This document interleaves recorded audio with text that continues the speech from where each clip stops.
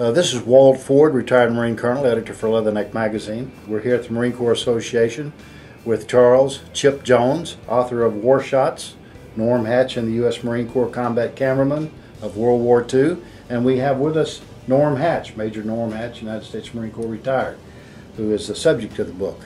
Good morning. Morning. Yeah, Morning. thanks very much for coming down to be with us today. It's great to be It's an exciting uh, opportunity to have us, uh, for the Marine Corps Association, to have you both here, talk about the book, and then later go over and do a book signing. So thank you. Charles, known as Chip, long line of uh, Marines in your family. Why did you write this particular book? What made you or drove you to this book?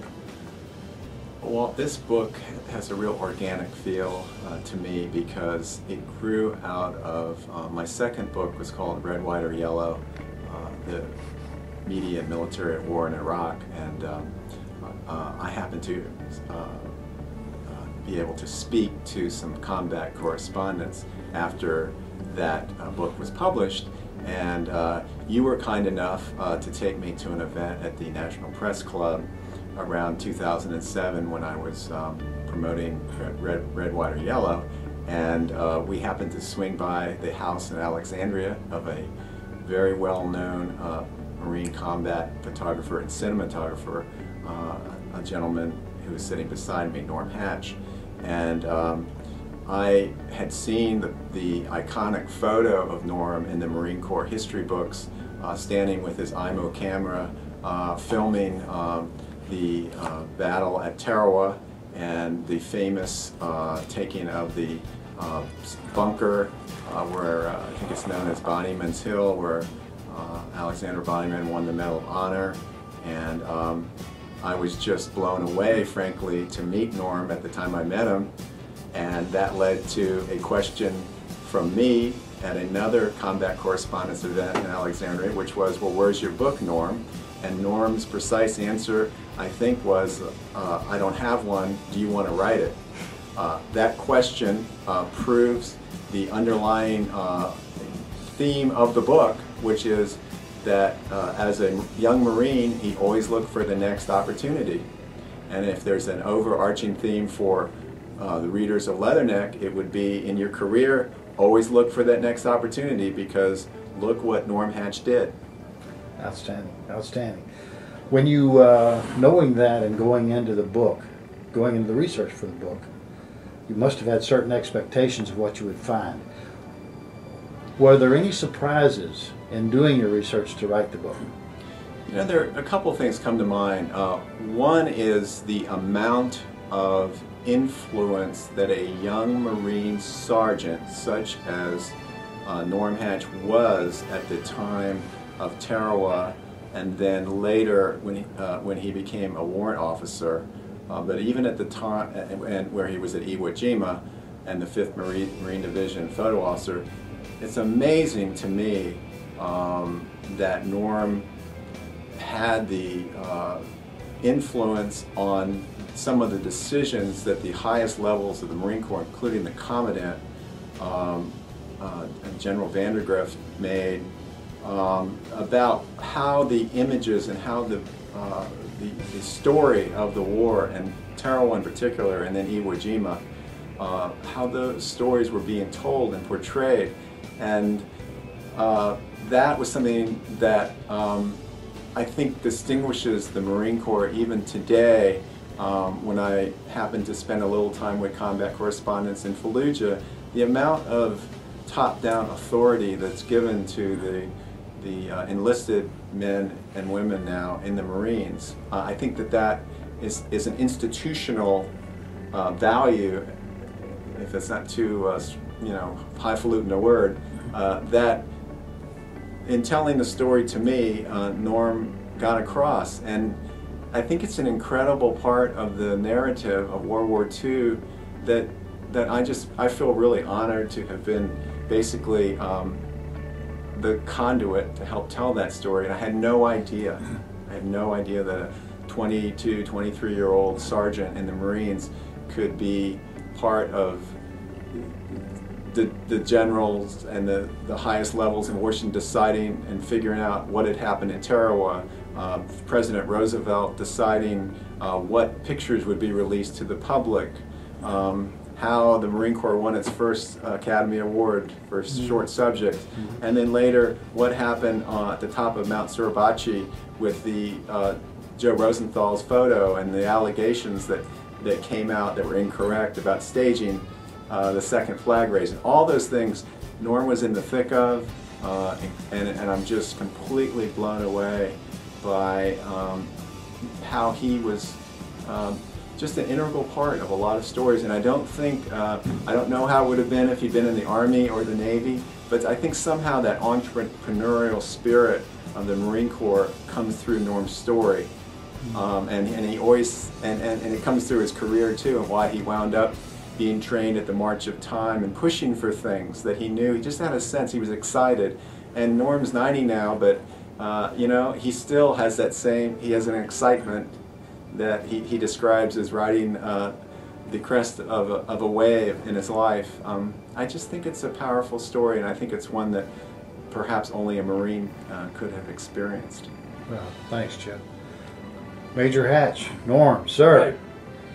Uh, as the book points out, you uh, are currently oldest surviving member of the Leatherneck staff, having been on the staff 1939 as a PFC. You went on to some great things in your life. Some, some, each of your achievements could have been the penultimate achievement of for anyone else, but you did so many things. Tarawa, well, Mar- March of Time, Tarawa, 5th Marine Division, saving the Marine Corps uh, with uh, bombs over uh, Tokyo. Uh, so many things that you did in your career, and then went on to the Department of Defense. Is there uh, one singular event that might be in the book that you felt uh, more important to you than all the other things that you've accomplished, to include that Oscar? Well, I think that, uh, to make things perfectly clear, I did not get the Oscar myself. That was presented to General Julian C. Smith, who had been the commanding officer of the 2nd Marine Division at Tarawa. But having said that, the, uh, uh, at the young age that I was at when all of these things were happening, uh, it didn't um, uh, appear to me that I was doing such great things. But I knew that I was doing something that had never been done before. So consequently, uh, uh, the results of not only my film, but the film that all of the men shot during World War II was extremely important because, uh, as you mentioned, the, uh, the title Bombs Over Tokyo, uh, at the end of the war, when the fight was on, as it is today, about who gets the money and who's going to do what, what thing in the military, uh, the Marine Corps was hard pressed, and uh, the commandant actually told uh, Colonel Krulak, Lieutenant Colonel Krulak at that time, that he was seriously afraid that he was going to lose the Corps because the uh, people at the Congress and in the Consolidation Committee set up by Truman just did not understand what he was saying when he was going up to the Hill as justification for retaining the Corps. So it was Krulak's idea that a film might help, and uh, he came to my office and we did. We made a film, and he carried it all over town, showed it to the Hill, showed it to the White House, showed it to the powers to be in town that dealt with the Corps. And at the end of all of that, he came back and told at that time a Captain Carlos P. Steele and myself, who both worked on the film, that uh, the heads of all the committees had told him that the film was instrumental in their desire to keep the Marine Corps. And as a result, uh, a law was written, which was uh, uh, written, I think, in 47, and then and then was uh, finally sealed back in, in 51, that the Marine Corps would have three divisions and three air wings in perpetuity, and nobody could change that but Congress. And I think that shows the value of film, and probably was the most important thing that came out of all that we did. Oh, excellent answer. You know, the mind, you just go back and you think of all the things that we've accomplished based on, in the Marine Corps, based on those photographs and that film that you made in the time frame 1940 through 1950, that time frame. It's, uh, it's amazing, Norm. Uh, and Chip, I'm glad that you wrote this book for all of us. Uh, it's a great book. Uh, is there anything else that you'd like to say based on what we've just said here to our uh, viewing audience uh, on this book? Well, just uh, I'm just feel real honored to have uh, had the book reviewed in Leatherneck uh, and uh, Marine Corps Gazette, and it, it brings back memories of my father, the late uh, Lieutenant General William K. Jones, writing his Baseplate McGurk articles, Yes. Uh, leadership series for Yes. the Marine Corps Gazette, and so um, it all kind of is a big circle for me because I was about seven years old watching him write, and I never planned to ever write anything. But I, I think you know our, our parents sort of imbue us with certain things, and uh, besides imbuing me with uh, you know admiration for the Marine Corps, even though I wasn't a Marine myself, he also helped uh, help me uh, learn how to the importance of trying to get things right, and, and also try to get them accurate, because he dealt with a lot of journalists during Vietnam and didn't feel that uh, that he always was getting the or that the Marine Corps was getting the real story.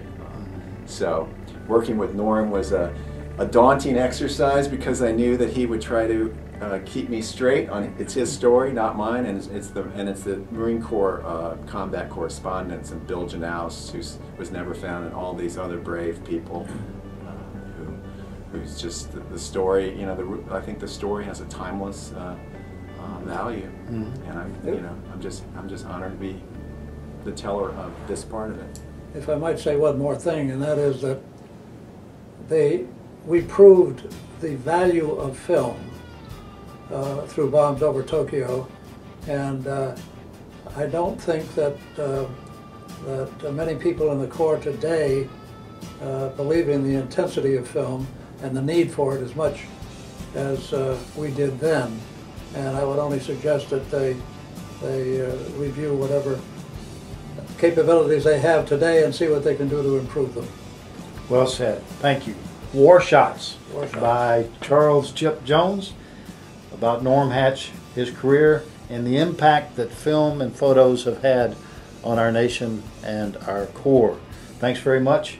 And this book is available uh, through the Marine Corps Association uh, bookstore uh, and, uh, and other stores. We wish you well with the book. Thank you for coming down today. Well, welcome.